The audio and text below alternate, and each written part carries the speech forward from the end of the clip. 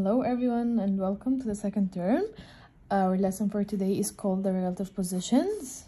Okay, uh, what are the relative positions?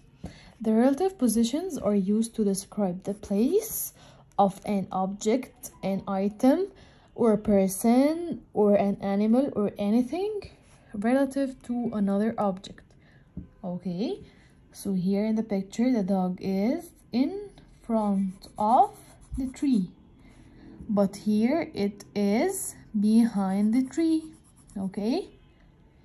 And here we have an arrow. This arrow means that this is the starting point which means that the horse is in the beginning and then comes the elephant and then comes the cat and then comes at the end the dog okay?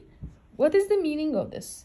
This means that the horse is in front of the elephant and the elephant is in front of the cat and the cat is in front of the dog.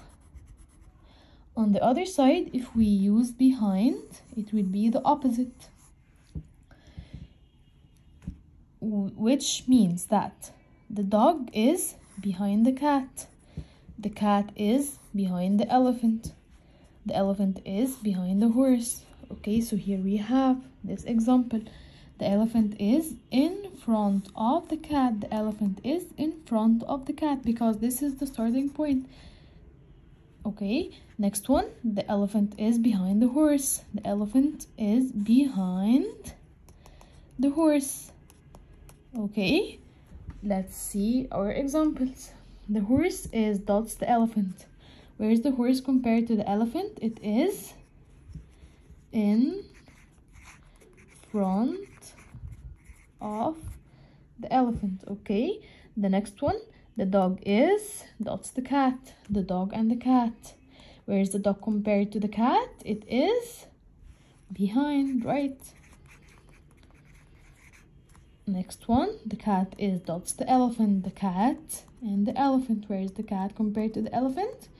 It is behind the elephant Okay, next one, the cat is dots the dog. The cat is dots the dog. The cat is in front of the dog.